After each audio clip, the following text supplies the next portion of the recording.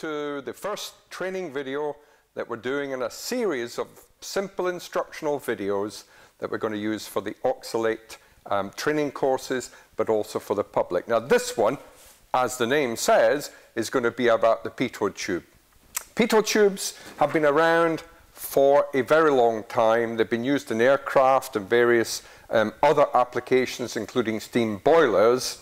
Um, what they are effectively is a bent piece of metal. They are not an instrument in their own right.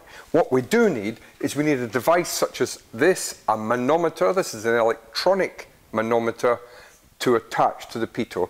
It simply brings the reading to the machine. Now, in a duct, it is the instrument of choice.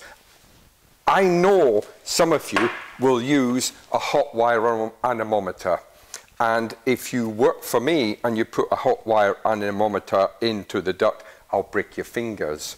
So it's anything in the duct is going over that very fine head. You can't position it to get the airstream. It is just not accurate. And before we go any further, some of you will say, oh, well, we don't need a pitot tube when we're working for static pressure. We can simply stick the tube in. And what I want to show a little while on is how that is incredibly inaccurate. If we were to look at the pitot itself, and we were to look at it in detail, not sure if we can get a close-up of this, but right down here, we have a series of peripheral holes around the edge. Now these, as we will see, pick up the static pressure right on the end, on the nose, there is a hole. Now, now it is such a common misconception that that picks up the static pressure. Maybe if we look at the drawing I have on the board, we'll see why that is incorrect. Now, if we come to the board and we zoom in on this section here, apologies for the very terrible drawing skills here, but here you have a tube inside another tube. The hatched lines is showing the one on the end. And certainly, certainly it's picking up velocity pressure. Let's just park that for a moment. The side holes are picking up the static pressure. So they're picking up the static pressure. But if you can imagine, static pressure is like a ball of energy. So there will be static pressure acting on here. So in fact, velocity pressure plus static pressure is what is hitting the end hole. Now that, as we know from our basic principles, velocity pressure plus static pressure equals total pressure. And if we follow this tube all the way to the top, we will find that the inner tube is running up and it comes out the very top and I've marked it that the connection at the very top is total pressure and the connection at the side is static pressure. Now the easy way to remember it is static beginning with an S for the side leg beginning with an S. Total beginning with a T is connected to the top connection. We will never actually, in examining and testing of LEV, want the total pressure. But here's the clever part. If we actually connect both legs together, as we will see, onto the manometer, the two statics will cancel out and you'll be left with velocity. So if we come back to the instrument now and we look at the ways that we're going to do it. We're going to switch on our fan. We'll see that we actually have an airflow. Here we have the connections. Side connection, we remember, is for static pressure. Top, we're not going to use top on its own, but top would be total. One way of remembering it is if I put it on the side and we get a V shape for velocity, then both connections together will give you velocity pressure. So, Next, the only other thing at the top that we have an interest in is this directional bar and it simply shows us which way the pitot is facing.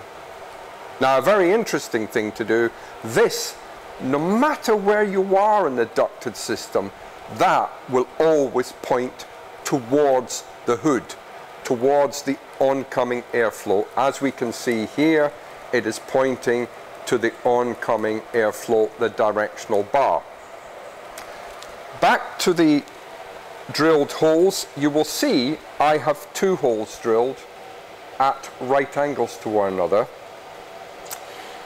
If we were to look at the official Pitot British standard, and I'm going to look at the board now, um, I've drawn, uh, again, not a very good um, graphic, but I've shown the test points that the British Standard would say, and they are at very strange intervals. The first insertion point is 0.026 times the diameter. The second one is 0.082 times the diameter, and so it goes on. Incredible. You're up a ladder, you try not to fall off, and you're going to work out, this is a 150 mil duct, you're going to work out 3.9 millimeter in, the next one would be 12.3 millimeter, and I really don't think we're going to do that. Now, if we look back at the pitot now, and we get a, a close-up of the pitot, you will see here on the pitot there are sliding rings. The technique that I have always used is as follows. Pull one of the rings out of the way. Now we're going to put it into the duct. If we put it carefully into the duct until we hit the other side, and the holes are a little bit small, push the ring until it's just inside the wall thickness. If I then use a tape measure, that will give me my duct diameter. But importantly, by eye, I will move the other rings approximately equidistant. The rings then tell us how far into the duct we are because once we have entered the duct, you lose track of how far in you are.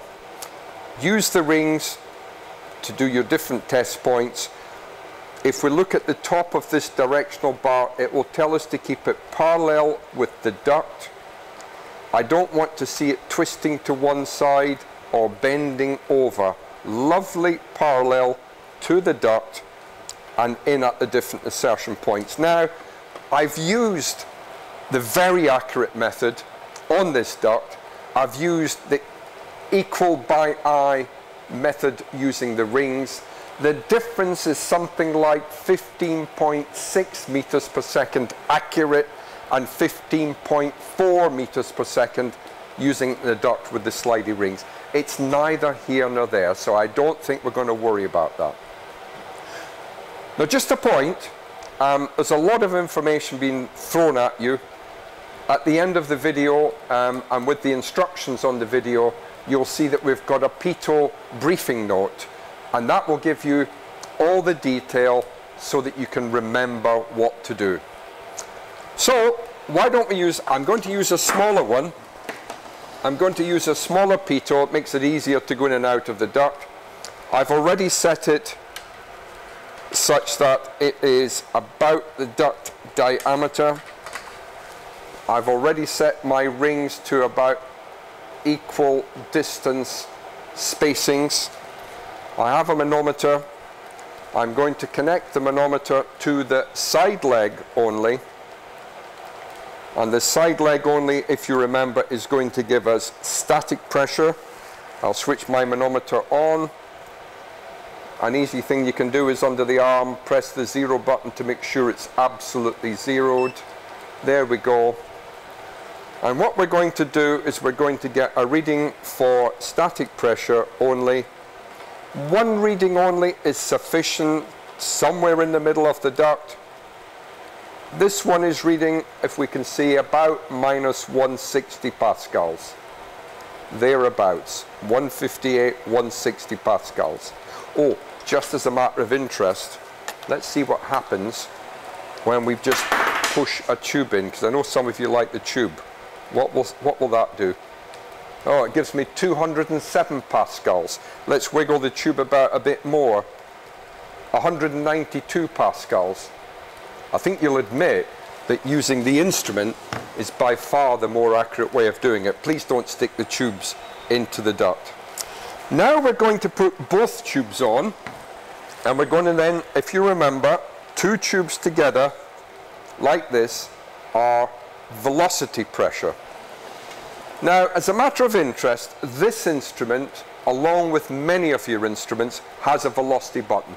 It'll do all the maths for you. So it'll take the pressure that's, that's being resolved on the pitot tube and it'll convert it directly to a meters per second. Now, those of you who are going to be doing the P601 or the P604, you're not allowed to do that in the little formative exam. You have to do the pressure in pascals and then if we can look at the board, we're going to look at this equation here, which is the equation we use to convert the pressure, here it is here, into a velocity in meters per second. So, for example, we get a pressure of 145 pascals. We put it into a calculator. You hit this square root button. You get an answer, and you multiply that answer by 1.29 and that will give you the velocity. What we are going to do is put this into the, the duct, take a couple of readings as velocity pressure. So here we go. There is our first reading. We're getting 86, 87 pascals. Second reading, about 83, it's very accurate. Third reading, 90. You'll see that we're getting very consistent readings because a nice long piece of ducting and there's not a lot of turbulence at the point of reading. So a whole series of readings, 78, 79, all the way through to the end. Last thing to remind you is if you would like some more information, don't forget to look at our briefing note, which is downloadable as a PDF. Thanks very much for your time. Hope you enjoy using your pitot.